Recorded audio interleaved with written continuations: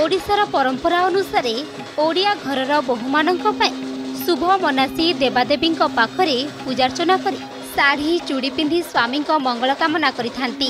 ଖାଲି ସଧବା ମହିଳା ନୁହନ୍ତି ଦେବୀମାନେ ମଧ୍ୟ ସାବିତ୍ରୀ ବ୍ରତ ପାଳନ କରିଥାନ୍ତି। ଆଉ ସମସ୍ତ ରୀତିନୀତି କାନ୍ତିରେ ପାଳନ ହୋଇଥାଏ ସାବିତ୍ରୀ ବ୍ରତ। ପୁରୀ ବ୍ରହ୍ମଗିରିର ଆରାଧ୍ୟ ଦେବୀ ମା ବାଲିହର ଚଣ୍ଡୀ କରିଛନ୍ତି ଆଜି ସାବିତ୍ରୀ ଓଷା।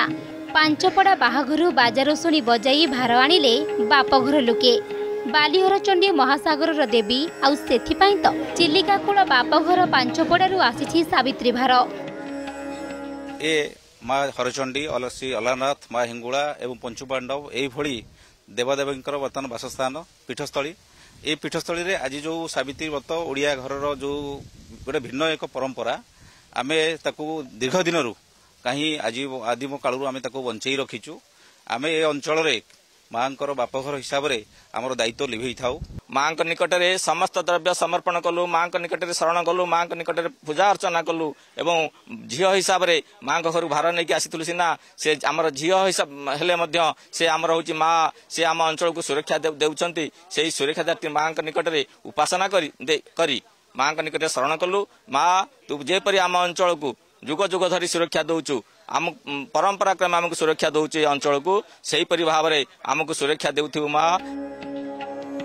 ବିଶ୍ୱାସ ରହିଛି ପ୍ରତ୍ୟେକ ବର୍ଷ ବାତ୍ୟା ବନ୍ୟାରୁ ଚିଲିକା କୁଳିଆ ଗ୍ରାମକୁ ରକ୍ଷା କରିଥାନ୍ତି ମା ବାଲିହର ଚଣ୍ଡୀ କାହିଁ କେଉଁ ଆବାହନ କାଳରୁ ଏହି ପ୍ରଥା ପ୍ରଚଳିତ ହେଉଥିବା ବେଳେ ମା ପାଇଁ ସାବିତ୍ରୀ ଭାର ନେଇ ଆସୁଥାନ୍ତି ଚିଲିକା କୁଳିଆ ଗ୍ରାମବାସୀମାନେ। ପରମ୍ପରା ଅନୁସାରେ ଗୋଟିଏ ଦିନ ପାଇଁ ମାଙ୍କର ବାପା ଭାଇ ହୋଇଯାଆନ୍ତି ସାଧାରଣ ଲୋକେ। ମାଙ୍କୁ ଭାର ଦେଇ ଗାଁ ପାଇଁ ଶୁଭ ମନାସିଥାନ୍ତି ପାଞ୍ଚପଡ଼ାବାସୀ। ଭାରରେ ଆଣିଥାନ୍ତି ଶାଢ଼ୀ ଚୁଡ଼ି ଆମ୍ବ ପଣସ କଦଳୀ ମହାପ୍ରସାଦ ଆଦି। ସବୁକିଛି ପହଞ୍ଚିବା ପରେ ମା ବାଲିହର ଚଣ୍ଡୀ ସାବିତ୍ରୀ ବ୍ରତ ପାଳନ କରିଥାନ୍ତି। ସାଧାରଣ ଓଡ଼ିଆଣୀ ପରି ମା ବାଲିହର ଚଣ୍ଡୀ ଶାଢ଼ୀ ଚୁଡ଼ି ପିନ୍ଧି ସାବିତ୍ରୀ ବ୍ରତ ପାଳନ କରିଥାନ୍ତି। ବ୍ରହ୍ମଗିରିରୁ କାଳୁଚରଣ ସାହୁଙ୍କ ରିପୋର୍ଟ ଅର୍ଗସ୍ ନ୍ୟୁଜ୍।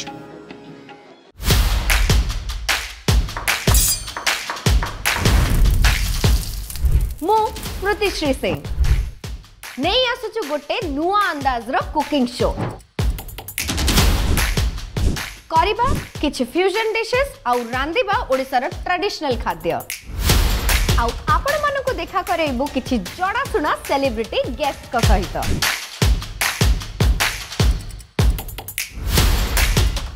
ତେବେ ଖୁବ୍ ଶୀଘ୍ର ଦେଖା ହବ ଆମର ଏଇ ସ୍ୱାଦ ଆଉ ମସ୍ତି ଭରା ଶୋରେ ଯାହାର ନାଁ ହେଲା ଆର୍ଗସ୍ ପ୍ରେଜେଣ୍ଟ ସ୍ୱାଦ ଓଡ଼ିଶା।